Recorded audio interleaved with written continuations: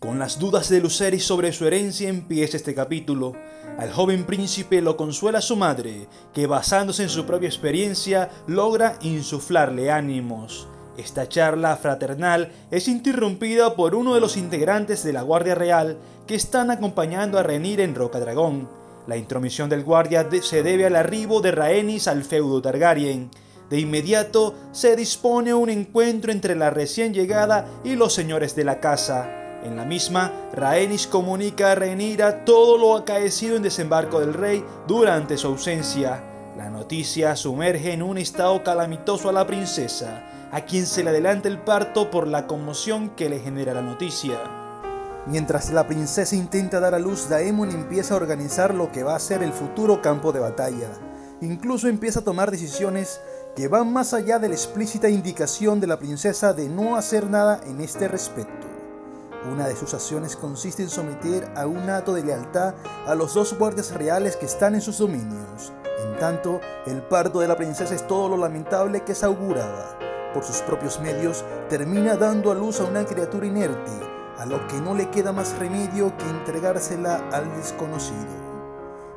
En un acto lúgubre en el que están presentes los más allegados a la causa de los negros, se hacen las exequias del diminuto cuerpo del príncipe.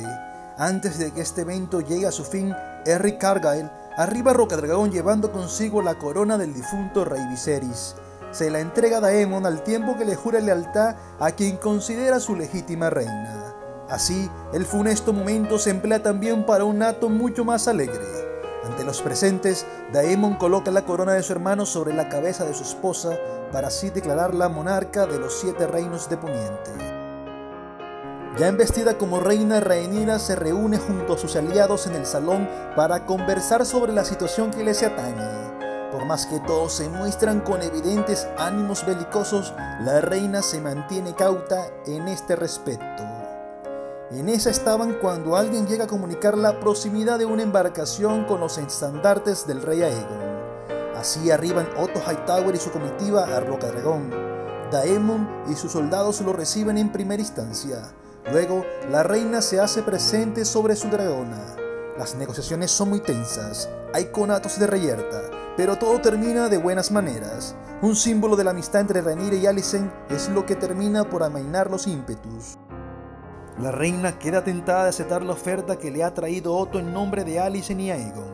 Cree que su legado como reina va más allá de un trono, privilegia la paz por encima de todo. Sin embargo, sus aliados no son de este mismo criterio, en especial Daemon, que se entrevé más reacio ante la indulgente postura de la reina. Incluso al quedarse solos en la estancia junto a Rhaenyra la toma del cuello con firmeza y despotrica de su posición y de las formas que Viserys tuvo para gobernar. No obstante, Rhaenyra no se amilana y le habla a Daemon del sueño de Aegon y de su misión como monarca ante la amenaza más allá del muro. Es así como logra percatarse que su padre nunca confió este secreto a Daemon. Llega así el momento para volver a saber de Corlys Velaryon. La serpiente marina aún está débil por las heridas de las que fue víctima en su momento. Rhaenys se encarga de ponerlo al día de lo que ha sucedido en su ausencia. Corlys está alicaído. Llega hasta el punto de anunciar su intención de retirarse junto al resto de su familia y de no apoyar a ninguno de los dos bandos en la guerra no ve con buenos ojos a Renira, hasta que se entera que es la reina la única que se muestra razonable en momentos tan álgidos. Eso y el futuro de sus nietos le motivan a finalmente tomar parte del conflicto. Bastón y mano irrumpe en el salón y sin perder el tiempo toma la voz cantante en el apartado de las estrategias, además de poner a disposición del bando negro su armada. Parte de su estrategia se basa en invadir desembarco del rey para obligar a Egon a rendirse, pero para ello necesitan de más espadas. Por eso es que se determina mandar emisarios a casas que aún permanecen en tierra de nadie o que no han renovado sus votos, como es el caso de Bastión de Tormentas. En función de ello, Yaceri es enviado al norte, mientras que Luceri es enviado a Bastión de Tormentas. Ambos juran ante la fe de los siete ir en calidad de mensajeros y no como combatientes.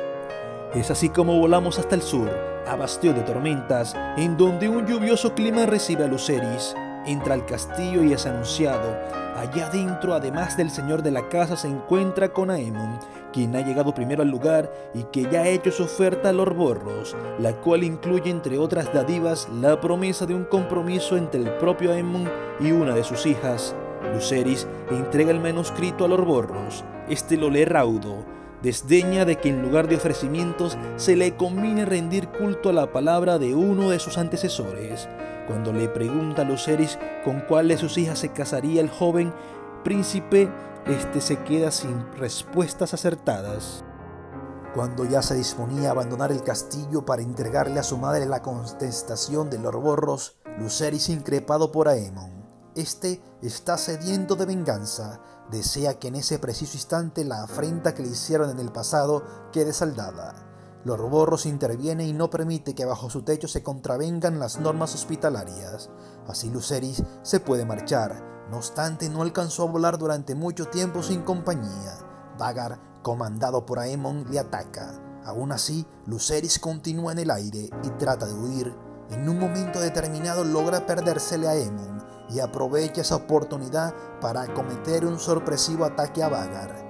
Luego emprende su ida hacia las alturas, vuela tan alto que supera la altura de las tormentosas nubes.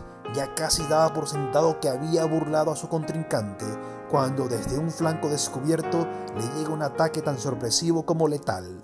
De un mismo bocado, la existencia de Luceris y de su dragón Arras deja de ser tal.